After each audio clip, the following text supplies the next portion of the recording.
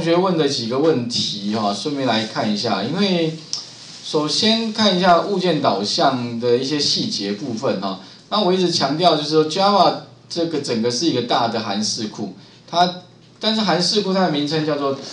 它它的名称叫做套件呐，哦或者叫做呃就是一个一个大的套件。那这个套件底下会有一个子套件，就 Ut 的 Ut 的这个套件。那套件底下又有一个类别哈。那这个类别哈，刚刚有同学问到说这个类别，那宣告的方式特别注意，就是说它的基本哈，比如说我们基本的流程是会有个这个类别，然后后面这个名称，这个名称可以自己取，这个叫物件的名称。那也就是说呢，这个类别哈，有点像是呃，你还没有真的产生一个实体物件才是一个实体，就有点像是举个例子啊，有点像是你今天要买一个。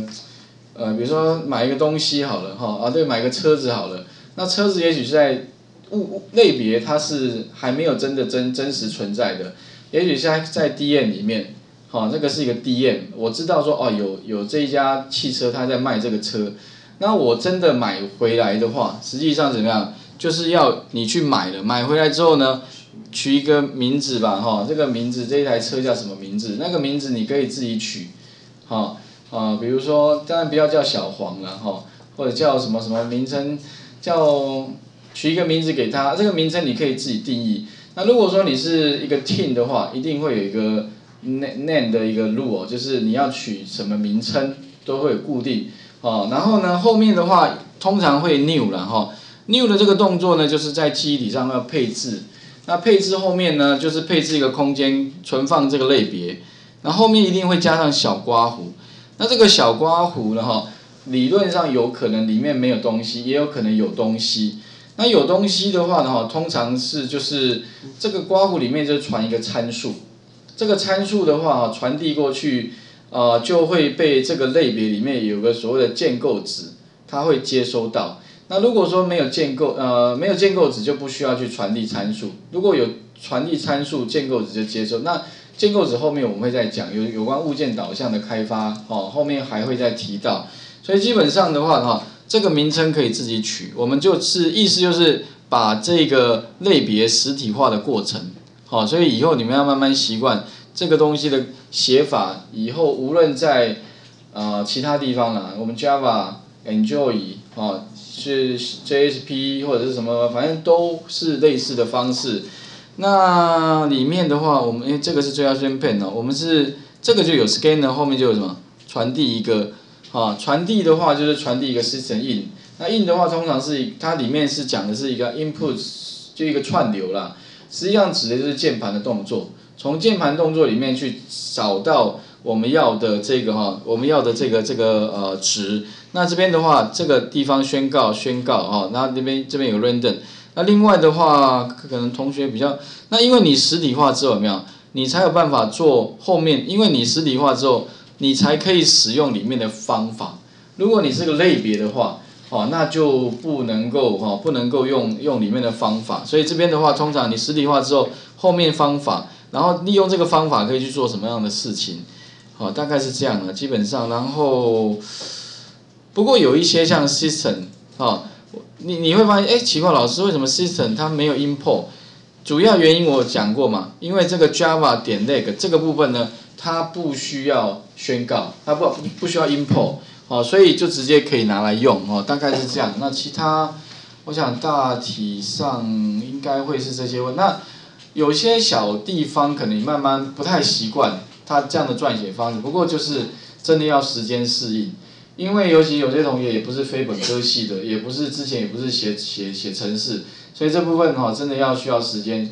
假如说你觉得哎这个部分真的对你很陌生，陌生程度很高的话，那就表示说你要比别人花更多时间。好，也就是说你回去真的要重新再练过，或者是说同样的 sample 你要再把它做修改，反正你就是 wrong，一定要比别人多了。啊那如果你觉得比较 OK，哎没有关系，你可以在。把我们书上的这部分哈，里面的我们这本书这么厚一本哈，里面也有提供 sample，所以请各位哈，当然基本上大同小异，一一般的书籍里面有的章节这个应该都有了哈，那所以基本上啊，如果讲起来的话，我们第一章、第二章哈，其实基本上都有已经第，我们已经基本上已经今天大概是讲到，如果算下来的话，基本上我们已经把这一本书的第四章，啊，大概都讲完了，里面有没有哈？四章哈，然后，哦，所以再来，所以一下就讲到第四章了，哦，一下子讲，但是有一些可能有一些细节部分哈。没有讲的特别细的话，那我想各位可以花一点时间再做阅读了哈，也可以增加自己的哈这个对于这个 Java 语言的掌握哈，物件导向的掌握。那当然后面的章节我会陆陆续续跟各位做说明哈，因为这本书其实里面还蛮丰富的，里面甚至讲到十六章后面有那个像 Swing 的部分的设计哈，所以我们这边也有提提到有关那个。视窗城市设计的部分，那如果各位有兴趣的话哈，其实也可以哈，把后面的部分哈再再再了解，它里面有一些 sample 哈。那这这一题的话，我想各位就是第一个可以用 scanner 哈，不过你会发现 scanner 哈跟那个 system out 部分呢，它都是在主控台上面做，console 部分做，所以有的时候这个感觉不是那么的便利，然后所以呢，你们也可以再把它改成。所谓的追要宣片，哈，那这个追要宣片的话是隶属于 Swing 的这一个套件里面，其实也是也是用到的是后面我们在第十五章 GUI 设计里面的那个 Swing 套件，所以各位如果对那个 Swing 套件有兴趣多了解的话，其实也不妨可以哈稍微参考一下。那这边的话就是把啊原来 Scan 的部分呢变成这个 Show Input Dialog 去取代。反正主要我们就是把什么呢？一些啊外部的 user 传给我们东西哈，把它读取到之后再秀出来。好，这个部分我想大概跟各位做个补充哈。OK，画面先再还给各位一下。哎，是。那你刚刚说，就是说哈，查，比如说哎，你比如觉得这个很这个这个其实很奇怪，它怎么这么特殊哈？为什么它不需要宣告？啊，别人都要宣告啊，就好像说呃别人。进出都要什么通行证？哎，奇怪，它就是完全不需要通行证，哈。那你可以怎么样呢？游标移到这里，我讲过，就是你可以找到这个 leg。那这个这个 leg 哈，就是点击之后的话，它会跳到这个套件。啊，这个套件如果你要了解更多的话，讲过这边有个点下去之后，它就跳出。那你会发现这边有几个，就是它的 class 的 summer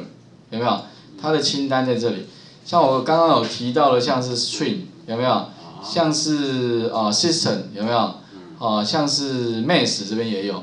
还有其他啦，就这些啦。哦，所以如果说将来你看到这些的话，啊，这些人这些就是不需要再宣告，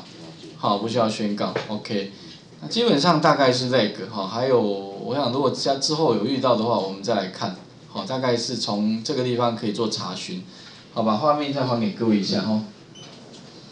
所以。呃，习惯性阅读哈，Java 提供的那个算是大可哈，是一件蛮重要的事情哈，因为里面基本上都查得到。